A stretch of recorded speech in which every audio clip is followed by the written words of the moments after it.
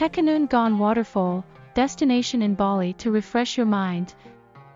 Tegenungan Waterfall is located in Kemenuh village, about 30 kilometers away from Denpasar city, Bali.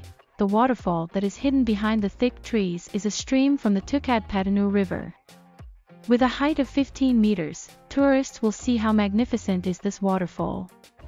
This place is also often used to do extreme sports, such as jumping from the top of the waterfall.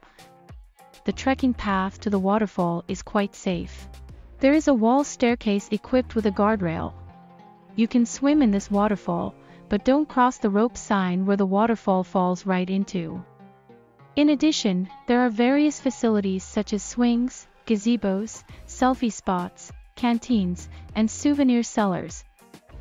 Tegenungan Waterfall is the only waterfall in the lowlands area of Bali.